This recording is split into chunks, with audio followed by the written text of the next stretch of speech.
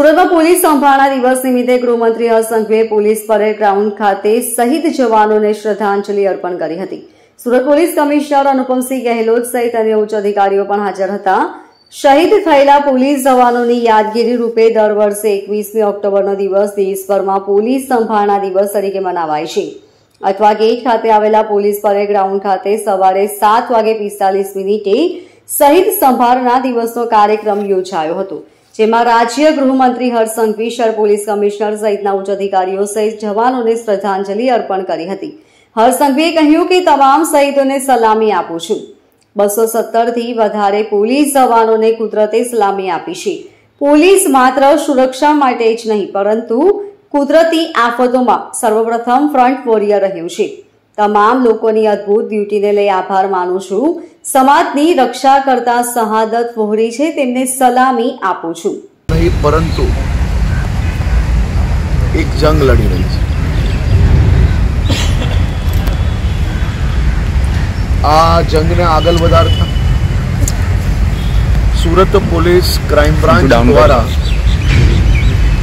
કાલે એકવીસો ગ્રામ જેટલું ડ્રગ્સ પકડવામાં એક મોટી સફળતા પ્રાપ્ત કરી છે. સુરત જિલ્લામાંથી આ ડ્રગ્સ પકડ્યા બાદ એની ટ્રેલ એટલે કે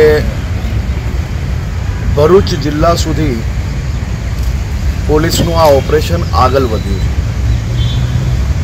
અને સુરત પોલીસ દ્વારા આ કામગીરી ખૂબ જ સફળતાપૂર્વક કાલે પાર પાડવામાં આવી.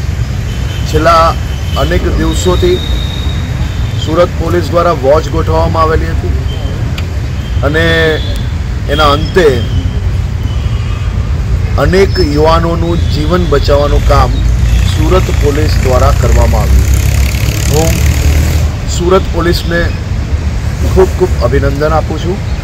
આ જ પ્રકારે સમાજના સહયોગથી આપણા રાજ્યમાં આપણે ડ્રગ્સ પકડવાનું કામ કરીએ છીએ અને આ ડ્રગ્સ પકડવા માટે પોલીસ દ્વારા રાત દિવસ એક કરવામાં આવે છે. ત્યારે આ ડ્રગ્સના આખાને આખા કાટલો પકડવામાં આપણે સફળતા પ્રાપ્ત થઈ ફરી એકવાર સુરત પોલીસને આ બદલ ખૂબ ખૂબ અભિનંદન.